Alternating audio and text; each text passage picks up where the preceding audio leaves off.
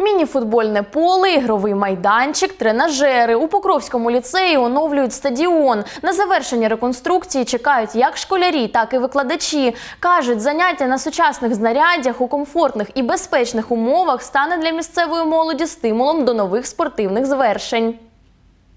Покровському ліцеї в Синельниківському районі майже півстоліття. Поряд із будівлею був і пришкільний стадіон, хоча він більше нагадував шматок поля, ґрунт та трава. Учні розповідають, раніше ганяли м'яча просто у пилюці. Нині з нетерпінням чекають нову зону для занять спортом. Мы очень ждем площадку.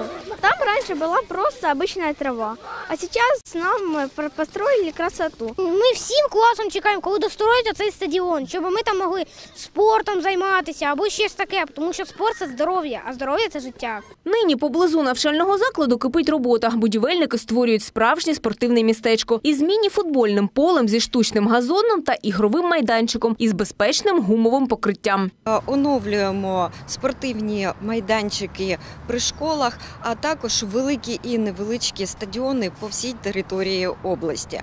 Наразі проводиться капітальний ремонт стадіону Покровського ліцею. Радіє сучасному стадіону і викладачка фізкультури. Каже, він змінить формат уроків та мотивуватиме учнів займатися спортом. Для них це буде прекрасні майданчики, прекрасне місце для роботи і внесе корективи в наші в нашу роботу, бо ми зможемо тепер більше уроків планувати на ігрову діяльність. Будівельники вже уклали штучний газон майбутнього футбольного поля. Залишилося засипати його кварцовим піском та гумовою крихтою. А поряд облаштовують майданчик для гри в баскетбол і волейбол. Після завершення будівельних робіт на стадіоні встановлять тренажери, бруси, перекладини та лави. На іншому майданчику також буде покриття фінішне із е, гуми на полімерному в'яжучому в кольорі.